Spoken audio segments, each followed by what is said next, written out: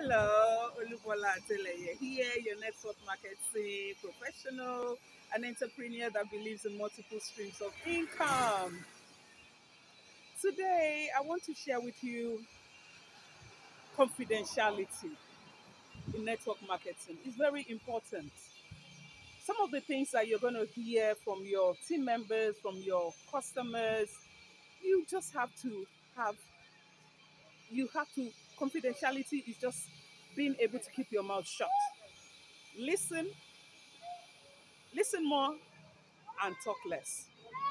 So some people have the habit of just talking. They talk talk talk talk talk talk talk. Everything they hear they have to share with others and you know it's not it's not ideal if you want to grow your network marketing business. It's not ideal. You need to learn to improve yourself on being a confident person, confi- confidential person, someone that keeps secrets. Keep it in your heart and don't share it with everybody. So, Olubola Adeleye here, sharing with you a small tip about confidentiality.